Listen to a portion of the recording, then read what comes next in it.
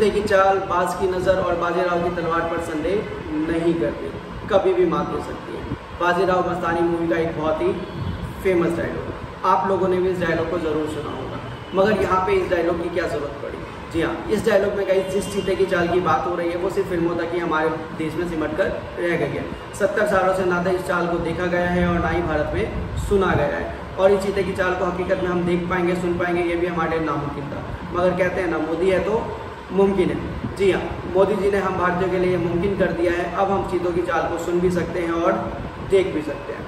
तो गई आज की इस वीडियो में आपके साथ बात करने वाला हूँ कि किस तरीके से हम हमारे देश से चीते विलुप्त हो गए थे और किस तरीके से अब वो वापस हमारे देश में लाए जा रहे हैं और कैसे हम लोग उन चीतों को दोबारा देख पाएँगे और क्या प्रक्रिया है दूसरे देश से यहाँ पे लाने का और क्यों चीते हमारे देश के लिए ज़रूरी है और क्यों चीतों को दूसरे देश से यहाँ पे लाया जा रहा है। ये सभी बातों पर मैं आपके साथ डिस्कस करूँगा इस वीडियो में गाइस तो आइए करते हैं गाइज़ आज की वीडियो स्टार्ट वीडियो स्टार्ट करने से पहले गाइस अगर आप हमारे चैनल पर नए हैं या आपने अभी तक हमारे चैनल को सब्सक्राइब नहीं किया है तो प्लीज़ सब्सक्राइब का बटन ज़रूर दबा दीजिए ताकि आपको हमारी वीडियो की नोटिफिकेशन टाइम टू टाइम मिलती रहे। तो आइए करते हैं गाइस आज की वीडियो स्टार्ट नमस्कार, मैं हूँ हिमांशु। गाइस कल का दिन, यानी कि 17 सितंबर 2022 हमारे देश के लिए बहुत ही ऐतिहासिक दिन था। कल हमारे प्रधानमंत्री श्री नरेंद्र मोदी जी का बहत्तरवा जन्मदिन अपने इस जन्म दिवस पर उन्होंने हम भारत हम देशवासियों को एक बहुत ही नायाब तोहफा दिया है। कल हमारे देश में यानी कि सत्तर सालों के बाद यानी कि सात दशकों के बाद अफ्रीकन कंट्रीज़ नामीबिया की कैपिटल विंड हॉक से एक फ़्लाइट जिसका नाम बोइंग 747 और 400 चली थी और वो 8,427 किलोमीटर की यात्रा करके वो हमारे देश के मध्य हमारे देश के राज्य मध्य प्रदेश के शहर ग्वालियर पे लैंड कर। उस फ़्लाइट की अगर मैं बात करूँ तो वो एक बहुत ही कस्टमाइज फ़्लाइट था। उस फ़्लाइट में हमारे देश के लिए एक बहुत ही नायाब तोहफा प्रधानमंत्री जी के जन्मदिन पर लाया गया। जी हाँ कल हमारे देश में अफ्रीकन कंट्री अफ्रीकन कंट्री से, अफ्रीकन कंट्री यानी कि अफ्रीकन की एक कंट्री नामीबिया से हमारे देश में आठ चीतों को लाया गया। कल सुबह आठ बजे ग्वालियर एयरपोर्ट पर, जिस बॉइंग सेवन फोर्टी सेवन और फोर हंड्रेड नामक दो फ़्लाइट को लैंड कराया गया, जिसमें आठ चीतों को लाया गया था।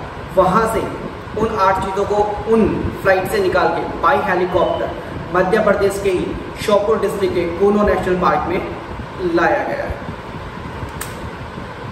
अब ये जो आठ चीते नामिबिया कंट्री से लाए गए हैं, उन आठ चीतों में तीन मेल चीते हैं और पाँच फीमेल चीते हैं। अगर मैं तीन मेल चीतों की बात करूँ उनमें से जो दो मेल चीते हैं, वो भाई हैं और एक मेल चीता अलग है। अगर मैं उन दो मेल चीतों की बात करूँ, जो कि भाई हैं, उनकी उम्र साढ़े पाँच साल है, जो कि नामीबिया में ही और रिच वारंगो में पाए गए थे और वहाँ पे वो जुलाई 2021 से रह रहे थे। जबकि एक तीसरे चीते तीसरे मेल चीते की अगर मैं बात करूँ तो उसकी उम्र साढ़े चार साल की बताई जा रही है, जो कि नामीबिया में ही Erindi private call game reserve में पैदा हुआ था और वहाँ पे मार्च 2018 से रह रहा था। अगर मैं फीमेल चीतों की बात करूँ तो इस पहली जो फीमेल चीती है उसकी एज दो साल बताई जा रही है, जो कि नामीबिया के गोबासिस में पाई गई है। वहीं अगर मैं दूसरे फीमेल चीते की बात करूँ तो उसकी उम्र ढाई साल बताई जा रही है, जो कि नामीबिया की एरिंडी रिज़र्व में पैदा हुई थी। अगर मैं तीसरे फीमेल चीते की बात करूँ तो उसकी उम्र तीन से चार साल बताई जा रही है, जो कि नामीबिया के एक ट्रैप कैस में पाई गई है। अगर मैं चौथे फीमेल चीते की बात करूँ तो उसकी उम्र पाँच साल बताई जा रही है, जो कि नामीबिया की गोबाविस जगह पे पाई गई है। अगर मैं पाँचवें फीमेल चीते की बात करूँ तो वहाँ उसकी उम्र गई पाँच साल बताई जा रही है, जो कि नामीबिया की कामन पंजाब जगह पे पाई गई है।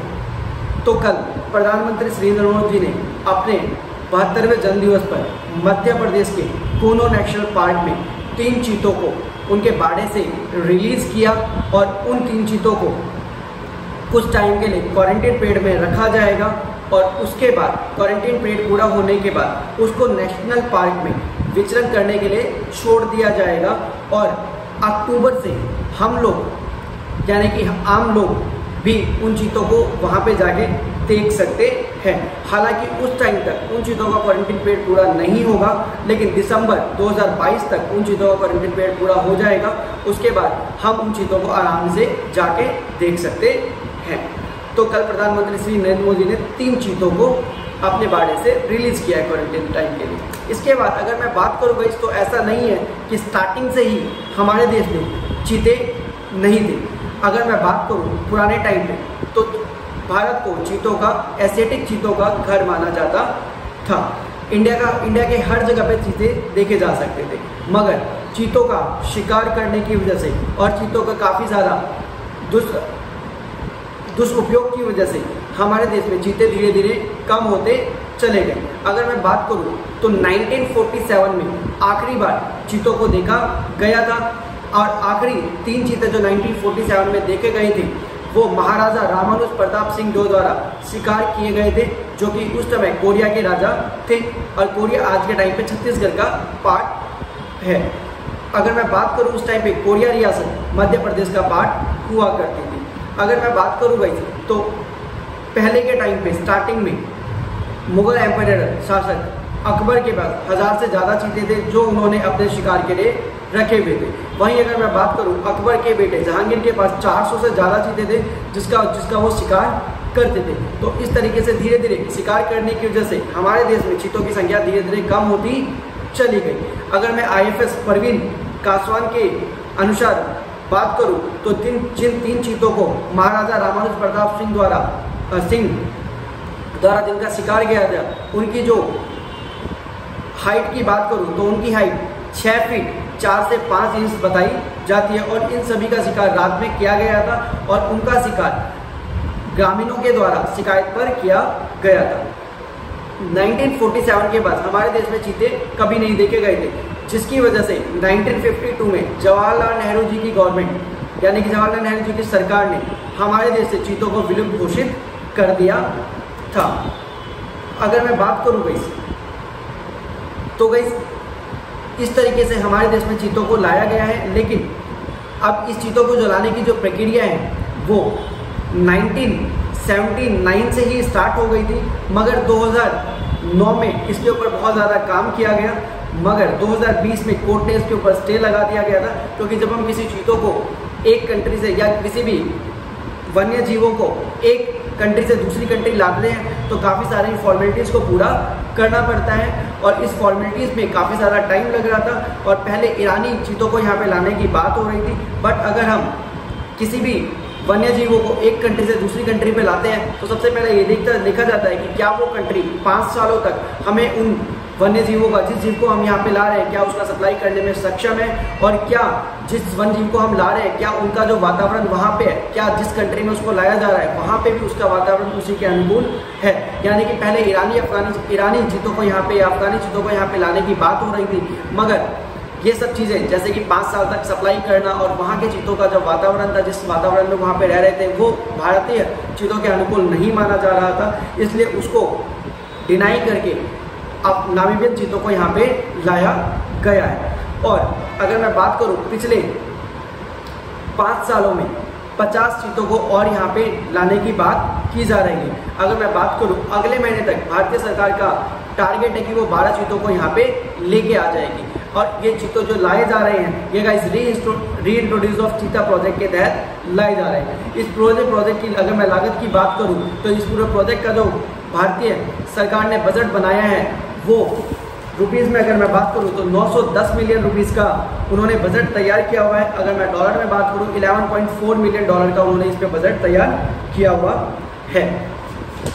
इसके अलावा गई ये जो आठ चीते यहाँ पे लाए गए हैं और इनको रखा जाएगा, इन आठ चीतों को रख रखाव में जो खर्चा आएगा और वहाँ से लाने का जो खर्चा है, उसको अगर मैं मिला दूँ तो पिछहत्तर करोड़ तक का ये खर्चा बताया जा रहा है। अब बात आएगी इसकी ये जो आठ चीते यहाँ पे लाए गए हैं तो सिर्फ़ इसको नेशनल पार्क में ही क्यों रखा गया? कहीं और रख लेते। तो अगर मैं बात करूँ गई तो पूना नेशनल पार्क ये सबसे ज़्यादा सुटेबल माना गया है चीतों के रहने के लिए।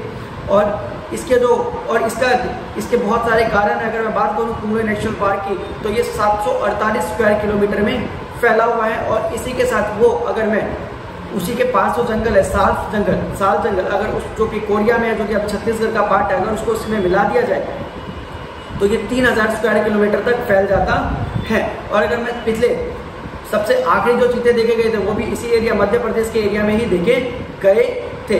इसलिए इस कूनो नेशनल पार्क को चीते के, चीतों के रख रखाव के लिए और चीतों के जीवन के लिए, जीवन शैली के तौर पर बहुत अच्छा माना गया था।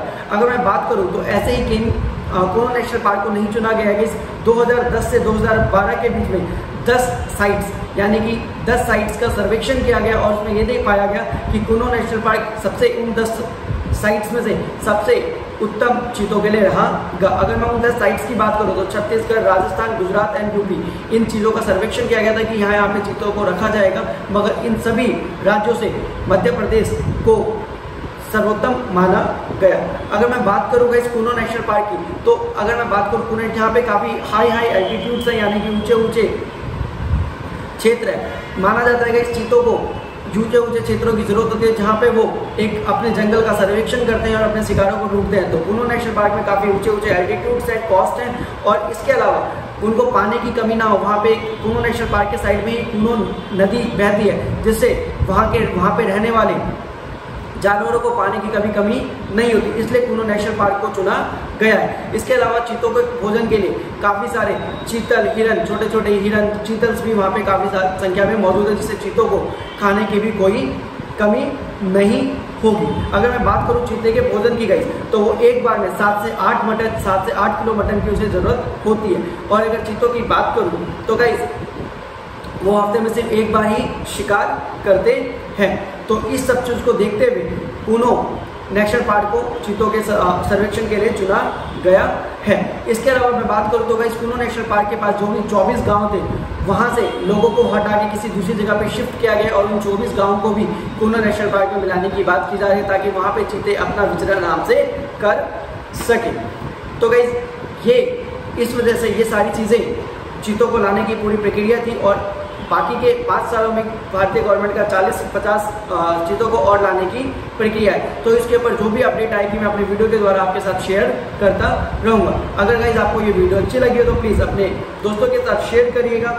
और अगर कोई कमेंट अगर आपको कोई फीडबैक हो वीडियो के रिगार्डिंग तो प्लीज़ कमेंट सेक्शन में जाकर ज़रूर कमेंट करिएगा। तब तक करिए thanks for watching guys have